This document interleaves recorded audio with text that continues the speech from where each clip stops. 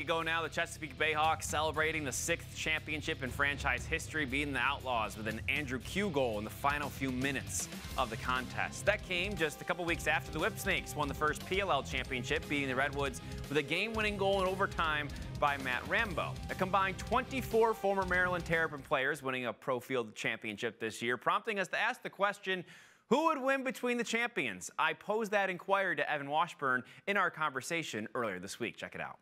All right, so we bring in Evan Washburn now to, to, talk a little bit more about this. So we've got two champions in the PLL and the MLL. I don't know if it's AFL, NFL, or wherever that was back in the day, AB, AB NBA. Whipsnakes, Bayhawks, if they were to play, you, what do you think would happen? Well, let, us look macro on this first. I mean, it, it would be awesome. And, and for anybody listening, watching, make this happen. Paul Rabil, um, Sandy Brown, get in a room. Let's do this. You guys are all competitors, and and you also appreciate the game, this would be so much fun. And I think it really comes down to the fact that it would be like in a Maryland alumni game. And you could really, I mean, um, it, as much as Jim Stagnitta deserves credit and is a big part of the Whipsnakes, maybe you could bring John Tillman in as a special assistant, associate head coach, and then it's Tillman and Cottle.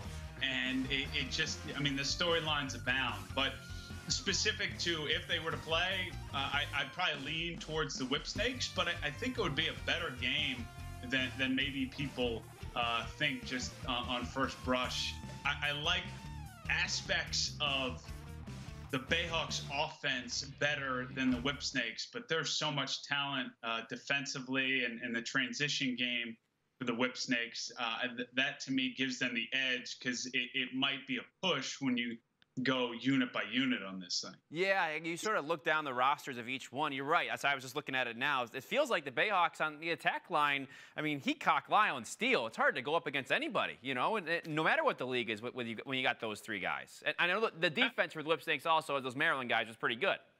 That's what I'm thinking. I mean, Ehrhardt and, and Young and it, it's it, it, and Dunn. It, it's a murderer's row of big bodies. And to, to get Lyle and Heacock and and Stanwick to a degree, but he's not as much of a physical uh, dodger. I mean, that would just be um, car wrecks all over the place in, in a good way, if that's possible. And, but to me, it comes down to defense and goaltending. And as much as Brian went on a tear there, Bernlohr, I think, uh, a bit fresher right now. But look, man, it, it, it, the more you think about it, I think it would be a really, really hotly contested game. And, and I like the layer uh, we talked about it uh, earlier about the the Canadian flair that that the Bayhawks adopted in 2019, whether it be Kew or Warren Jeffrey, just uh, across the board. I mean, the guys kind of sprinkled in over the course of the summer. I think that gives uh, Chesapeake a bit of an edge uh, that would that would be fruitful over the course of four quarters if these two teams met up. And you also, the bonus is you got the MVP from each league, and Matt Rambo and Lyle Thompson on opposite sides of the coin. Well, that's the reality, too. I mean, as deep as the Whipsnakes are and as talented as that group was over the course of the entire PLL season, Lyle Thompson's the best player in the world. I'm not, there's no argument to me to be made. Matt Rambo uh, was unbelievable over the course of the year, but Lyle is is is playing at a, at a different gear and uh, if they could take a little breather here, let him get healthy. Not that that seems to even matter.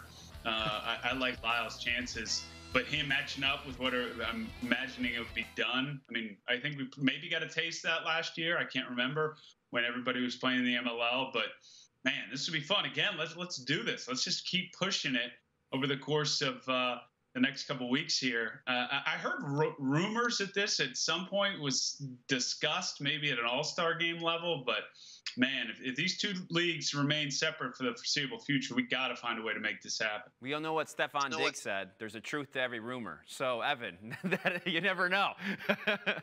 the hypothetical. Vikings, uh, a Vikings pull here on LSN. Good work. see, it's trying to bring it all back. All right, Evan, thanks for the time. We'll keep talking about this and see what we can do, all right? Yeah, man. So a look here at how these teams stack up on offense. As I mentioned, MVP on each side of things. You got Lyle Thompson at Chesapeake. You got Matt Rambo on the Whips. Whips, maybe a little more talent in the midfield, but the Bayhawks, they've got some guys there too, young and old. Here's a look defensively now. The Bayhawks had the best defense in the MLL this year. The Whips tied for second best in the PLL. Goalie-wise, Kyle Bernlohr, one of the best in the world. But Bayhawks experience there with Team USA guy Brian Phipps, Nico Amato as well. Nardella probably an advantage at faceoff over Massa. I posed the same question this week to Chris Marshall. Check that out. I think this would be a really good game, and I, I think you, you, look at the teams, and I think if you line them up player for player, uh, up and down the rosters, it's hard not to look at the Whip Snake squad as having maybe a better team in terms of talent. But not all the players play at the same time.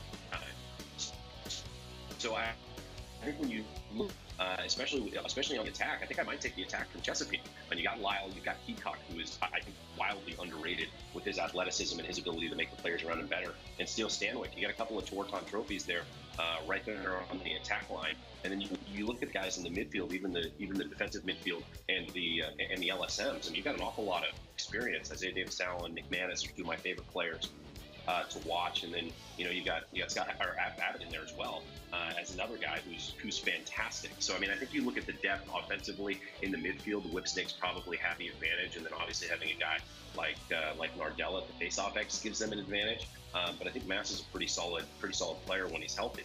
And then you talk about the defenses and the goalies. I mean, there's some really fantastic defensive players. Obviously, Ehrhardt uh, is one of the is one of the best around, but Jesse Bernhardt on the other side is another guy who's seen a lot of rubber in his day. He's a fantastic player, one that I think could have been in the mix for Defensive Player of the Year. And then you talk about the goalies. I mean, obviously, Bernlohr was great for the Whip Snakes, but you, you got you got Phipps on the other side He spent time with Team USA. I mean, he's an experienced professional goalie. So I, I think you can't overlook the amount of time that the Chesapeake Bayhawks spent together uh, over the course of the season. You know, you get four, five, six more games, uh, depending on the units that you're talking about. And the chemistry, I think, is something that can't be overlooked because I think that was something that elevated the Whip Snakes uh, versus the other teams. So, I mean, I, I think it would be a closer game uh, than, than people are giving it credit for, at least in the comment section.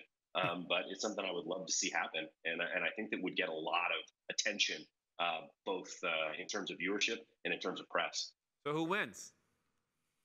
Uh, man, this is this is tough. I, I just can't I, I can't bet against Rambo um, with the way that he's been playing, the role that he's on right now. So I mean, I think I'd probably go with the Whip Snakes, but I mean, I, am dangerously close to going with the Bayhawks. I mean, I think this would probably be you know a game that would go to overtime or or, or you know something be very very tight. Um, but I, I, think with the way that Rambo's rolling right now, it's tough to go against them. But I think it would be a very exciting game, and I think it would be great for the sport. So hopefully they can work something out. I'm not super optimistic, optimistic, but uh, I think it would be really cool.